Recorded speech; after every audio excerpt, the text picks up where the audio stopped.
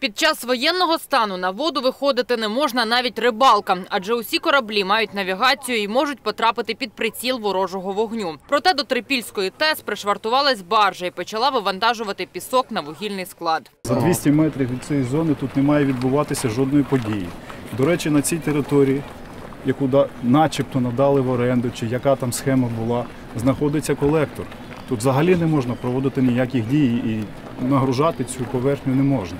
Активісти кажуть, що ділянку вугільного складу ТЕС могли здати в оренду і побоюються, що приватна компанія привласнить її собі. Ми моніторимо завжди публічну кадастрову карту до того моменту, поки її не закрили. І ми побачили, що тут сформувалася земельна ділянка. Ну ви ж прекрасно розумієте, що на відстані 200 метрів е, від Дніпра нічого взагалі не можна робити. Тим паче це територія вуглеподачі Трипільської ТЕС, а Трипільська ТЕС це забезпечує безпосередньо життєдіяльність усієї громади. Громада вже підготувала звернення до Міністерства енергетики, СБУ, ДБР та Офісу Генерального прокурора. У документі зазначено, що компанія ТОВ «Цегла вашого дому» розпочала видобуток піску і здійснює навігацію Дніпром ще з початку липня. В Українській міській раді питання передачі в оренду частини вугільного складу цій компанії навіть розглядали на сесії, але депутати ініціативу не підтримали.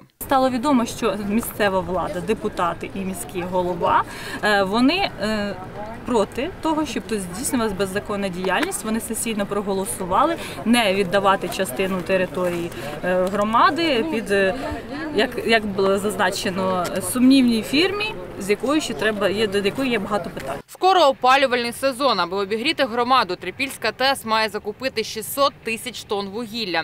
Якщо ж на ділянці вугільного складу лежатиме пісок, місця для зберігання палива не вистачить, переконані активісти. Геодезист, помірявши всю цю територію, він зазначив про те, що якщо не буде вистачати ось цієї земельної ділянки, яка зараз якраз зайнята через те, що незаконно видобувають пісок і здійснюють тут відповідну перевалку, то не вистачить місця для того, щоб складувати це вугілля. Тобто, ви уявляєте собі, наскільки це важливе зараз питання. По словам геодезиста, це вугілля воно буде якраз складатися на висоті 12 метрів. Баржа з піском, що пришвартувалася біля ТЕС, належить першому експедиційному загону підводних та гідротехнічних робіт. У компанії запевняють, що вони субпідрядники і мають усі дозволи на роботу, зокрема на перевалку піску на територію стратегічного об'єкту. Дивіться, там е, договір є ТЕС так далі. Я, я туди не, не вмішуюся, вам це покажу. Ви думаєте, що ми так просто могли прийти і, і стати і працювати.